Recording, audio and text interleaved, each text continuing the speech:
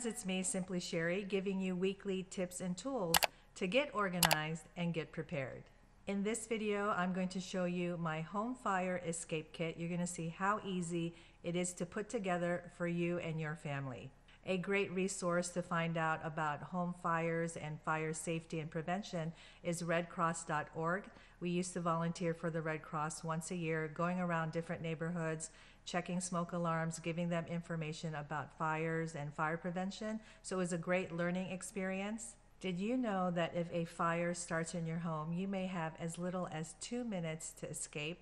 So it's important to have a fire safety in plan and a fire kit, especially if you live in a two story home like we do, or if you live in an apartment complex or high rise. I've experienced two home fires and they are pretty scary. Um, when I was five and a half months pregnant with my uh, daughter and my son was four and a half then, we were in our apartment in on the second floor. My husband was out at work. It was nighttime, and all of a sudden the fire alarm goes off, and the wall is engulfed in black flames. So I stayed calm, called 911, and she was like, "Get out now!" So luckily my slippers were right by the door, and I just grabbed my son, pregnant. Went down the stairs across the street, and luckily the firemen came very quickly. What they found out later was the chair, the battery operated chair that, you know, kind of rocks. Um, someone had given that to me and it just went up in flames. So they don't know if there was uh, something wrong with the battery part, um, you know. But anyway, that's the thing that went that caught on fire. And luckily, it was in my laundry closet with the door closed, so it helped stop the fire to uh, from spreading quicker than it could have. So yeah, I just remember stay calm, call 911, and we got out of there. And we were fortunate that they were able to fix that within a week. I had to stay at a friend's house, um, but they were able to fix it and get all the smoke smell out. Needless to say, I didn't get a chair like that anymore. And then the other home fire was actually in this house in my kitchen. I think I was I had something in the microwave and literally it just went up in flames. And I opened all the doors, was able to put the fire out, and the smoke alarms went off. And then um, it wasn't a big enough fire that the firemen, firefighters came. And so, but it was still scary. And I was already coughing within those few minutes. And the windows were, I was able to open the windows and the front door and have some ventilation. So home fires are not something to mess around with. So it's very important that you put a kit together and a fire safety plan. So, for example, if you have younger kids, uh, when they were younger, we used to practice fire drills in our home and show them and actually physically go across the street to show them where we should meet in case there's a home fire. For example, if my husband is out and it's just us, then we knew exactly where to meet because when if you come home and you see all the fire engines you're just like where is everyone? Is everyone safe? And you may not have time to grab your phone and call or text. So this home fire escape kit is specifically for our second floor to make sure that if the fire is at our bedroom door and we can't go through the usual uh, way of going down the stairs through the front door the garage or the back door then we have a way to get out from the second story window. My fire escape kit is underneath my bed in an underneath rolling bin, and my window is here to the left. And so, what I've done is to just label the fire escape kit. You can see here with my Cricut machine, and it's the same labeling on the other side because it could be pulled from that side also. So after you pull it out from under the bed, there's a handle here that you could just open from this side or you can open it from that side. And the main thing I have here is this fire escape ladder that's good for two stories. Make sure you have the right height. I'll put links to these items in the description box below. And so once you deploy this, I've read in the reviews that it's hard to put back. So you may want to have a second one to practice or you could practice with other ways, just even trying a regular ladder. Just make sure that you're able to climb down a ladder as part of your fire escape plan. And so I have this here. And then I have a couple old towels that I've um, kept. And the reason for this is that you can bring these out and put them underneath uh, the door or by the door, you know, the, the crack of the door. And on this side is a gallon of water that obviously you can get anywhere. And luckily, this happens to have a handle.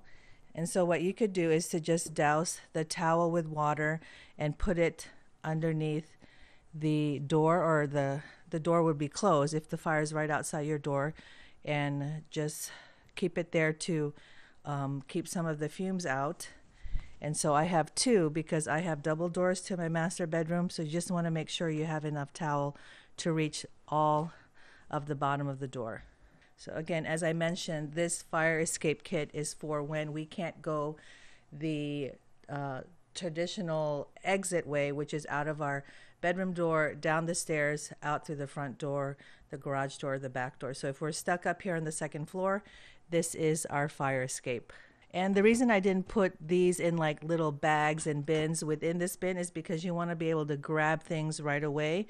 I have this tool here that can break the window if need be or to pry open the window.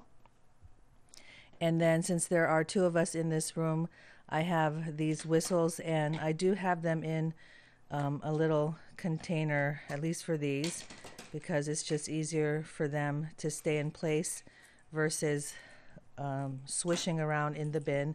This it came with this if you want to put on your wrist, but this is I'd say a lot easier to have it around your neck and blow uh, into the whistle for um, any help that's needed.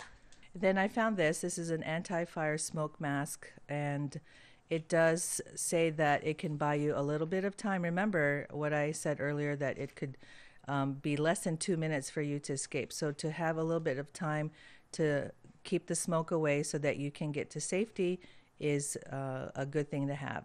Then I have this spray fire extinguisher, which you can keep one underneath your kitchen sink for kitchen fires.